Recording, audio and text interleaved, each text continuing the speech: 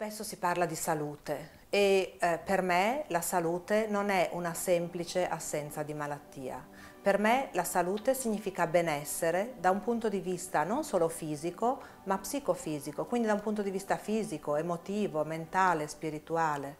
Perché ovviamente non siamo fatti in compartimenti stagni, ma siamo un tutt'uno e con questo ovviamente so che non vi sto dicendo niente di nuovo, ma l'aspetto eh, più importante per me è proprio quello di eh, renderci conto che ogni nostro pensiero influenza la nostra salute, ogni nostra emozione influenza, influenza la nostra salute. Vi voglio raccontare di un esperimento che mm, ho scoperto insomma, ultimamente. In questo esperimento hanno preso 10 scimmie e eh, non so se lo sapete ma le scimmie quando sono, vivono insieme hanno bisogno di avere un capo, soprattutto le scimmie maschio e quello che fanno è lottano finché non hanno stabilito il capo. Chi è il capo? Una volta che hanno stabilito chi è il capo, la vita di nuovo diventa tranquilla e serena e c'è un ordine e un equilibrio tra di loro.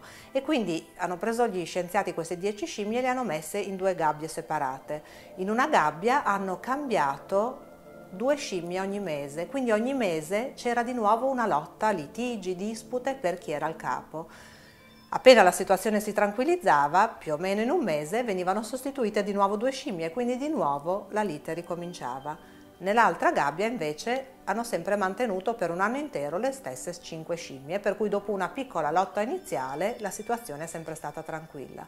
Dopo un anno hanno misurato, hanno fatto degli esami eh, del sangue e hanno misurato i valori di queste scimmie la gabbia in cui le scimmie sono state tranquille, non hanno, fatto, non hanno, avuto litigi tra di loro, le scimmie erano tutte sane. Nell'altra gabbia le scimmie erano tutte ammalate, avevano problemi cardiovascolari, avevano problemi di ipertensione, avevano tantissimi problemi vari. E questo mi ha fatto molto pensare eh, rispetto ai nostri ambienti, i nostri ambienti in famiglia, i nostri ambienti lavorativi, tutti i litigi, le lotte che eh, affrontiamo ogni giorno, quanto influenzano la nostra salute.